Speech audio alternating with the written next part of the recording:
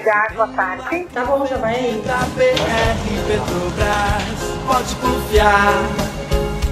É Liquigás. Quem cozinha sabe que na hora de botar a panela no fogo tem que estar tudo na mão. Precisou? Tá na mão. Você liga e a gente entrega rapidinho o seu Liquigás.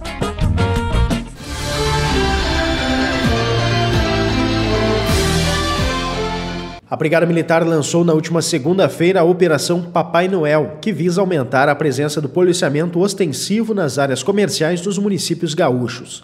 Nessa semana, o 30 Batalhão de Polícia Militar, sediado em Camacuã e responsável pela região dos municípios de Tapes e São Lourenço do Sul, comunicou que está desenvolvendo, dentro da sua disponibilidade de recursos humanos e materiais, o emprego rotineiro do efetivo para patrulhamento nas áreas comerciais, com abordagens de pessoas e veículos em geral, proporcionando mais tranquilidade à população nesse período de final de ano.